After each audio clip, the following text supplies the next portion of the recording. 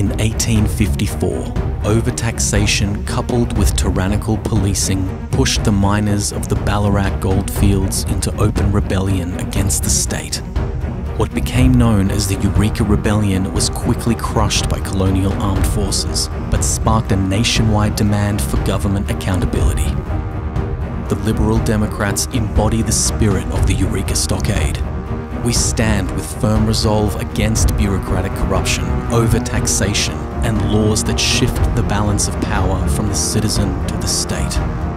Echoing the oath taken by the diggers who fought at Eureka, we swear by the Southern Cross to stand truly by each other and fight to defend our rights and liberties. And fight we shall. Watch this space.